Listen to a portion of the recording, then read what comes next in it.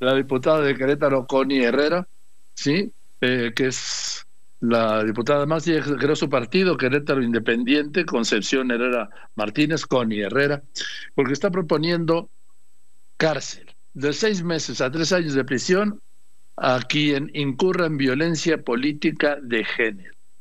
Ella es del Partido de la Gente Querétaro Independiente. Entonces, Connie, ¿cómo está? Buenas tardes.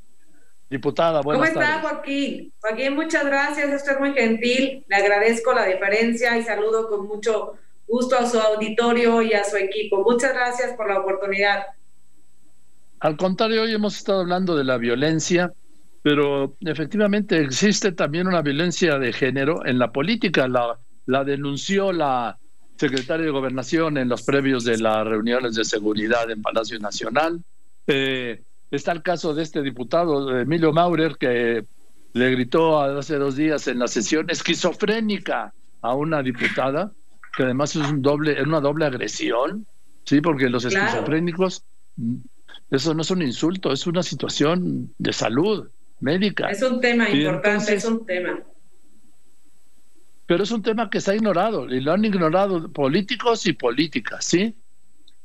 Eso es correcto, mi querido Joaquín. Efectivamente es un tema muy lacerante que en voz de los representantes populares tengamos desafortunadamente eh, para ustedes como medios de comunicación, como personas de alto impacto en la comunicación y difusión social, que puedan visibilizar que aún en este momento y en las cámaras todavía tengamos acciones que van en contra y que visibilizan, por supuesto, la discriminación, como es el caso desafortunado de la mención de este diputado, y hablar, eh, obviamente, del tema de una enfermedad que padecen muchos mexicanos y en el mundo es, es lacerante, es doblemente, como usted lo ha mencionado, eh, un caso de discriminación eh, y perdonable, además inadmisible.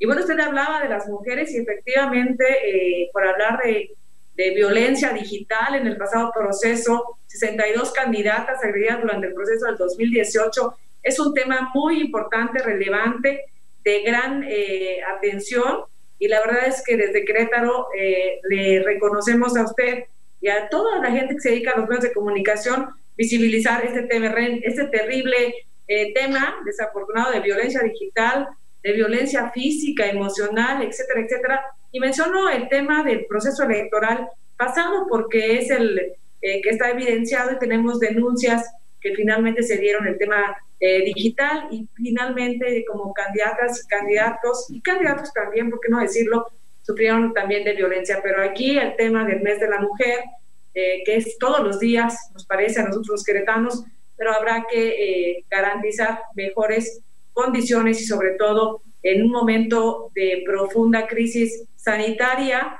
donde eh, sin importar sexo habrá que trabajar o género, habrá que trabajar en materia de garantizar la vida. Ahora, ya presentó esta iniciativa y cómo ve al Congreso de Querétaro. ¿Le dará para adelante o no?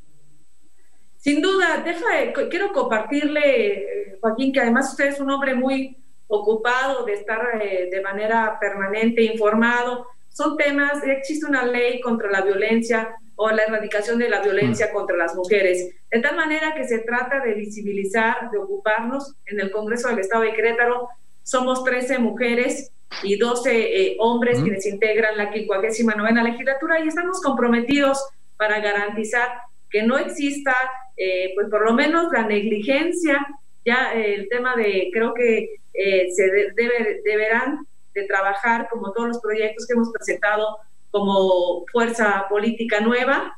Eh, eh, la verdad es que hemos tenido la coincidencia con las fuerzas políticas nacionales que tienen presencia en Querétaro y creo que este tema eh, mayormente favorable que en voz de personas tan importantes como usted puedan tener conciencia en la población de hacer con acciones cotidianas la posibilidad de ya no más agresiones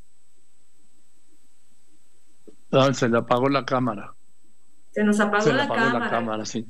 Qué barbaridad. A ver si aquí me ayuda, solo A ver si la puede activar. Voy, regreso con la diputada Connie Herrera. Connie, esto sí va a prosperar, ¿no? Afortunadamente sí, en Querétaro estamos conscientes, somos un sitio de leyes y cuna de la independencia y dicho sea de paso en este momento de, reitero, de profunda reflexión en el mundo. Personas como usted, eh, que tienen eh, impacto social, es muy importante que todos los días, en la medida que puedan, recordemos, por supuesto, que estamos eh, con esta gran rezago y este reto, además de lograr que no haya o que se erradique la violencia en todo sentido. Y en este proceso electoral que se avecina, que usted es un hombre que tiene la historia prácticamente de México, no porque eh, sea eh, parte no solamente del periodismo, sino porque es un hombre comprometido con México y necesitamos sin duda tener eh, que difundir, lograrlo a través de la web, garantizar que evidentemente se erradique esta desafortunada violencia que está lacerando al pueblo de México y que necesitamos sin duda, sin duda, que en esta nueva realidad hagamos acciones eh, sustantivas. Bien, pues que así sea, diputada, eh, diputada Connie Herrera, fundadora del Partido Político Querétaro Independiente, que se avance en esto y seguimos en contacto y le mando un saludo. Gracias por su tiempo. Buenas tardes.